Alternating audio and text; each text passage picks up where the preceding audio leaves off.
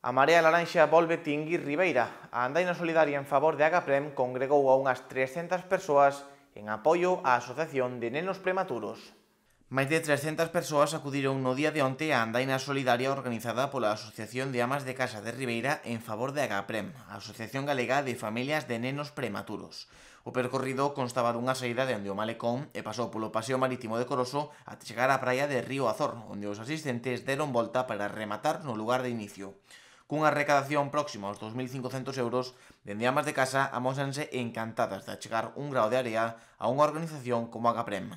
Esta é a quinta andaina da Gaprem, eh, que é unha asociación galega de axuda ás familias con grandes prematuros, que son os grandes olvidados eh, eh, tanto da administración como da xente. Os prematuros nacen con moitos problemas, moitos deles que, que están ao longo da súa vida. Entón, penso que hai que axudar a estas familias e por parte da administración poñer os medios suficientes para os tratamentos e as cousas que teñen que facer ao longo de toda a súa vida. A asistencia é máxima, é unha andaina feita para nenos e maiores, e de verdade, eh, Ribeira é solidaria, eh, eu estou moi orgullosa do meu pueblo e da miña xente, cando digo Ribeira, digo Ribeira municipio, eh, Esperamos continuar eh, seguindo facendo estas andainas e dalle visibilidade a un tema que que me parece o gran olvidado como é o dos nenos prematuros. Na mesma liña pronunciouse o alcalde de Ribeira, que destacou o carácter solidario da vila. Acompañado de membros do equipo de goberno e traballadores do Concello,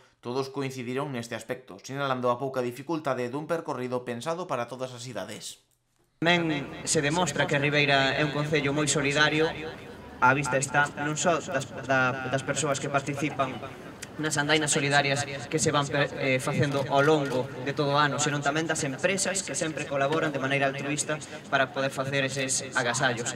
E como non, eh, o Concello de Ribeira sempre está aí ao carón de todas estas entidades colaborando para que isto poida ser unha realidade. Eh, eh o 99% é eh, bellana, disfrutando dun día espectacular que que nos brindou o tempo despois destes días de mal tempo. E, bueno, a... estou moi contento da aceptación que, lle, que está tendo ca xente, a xente de Ribeira moi solidaria.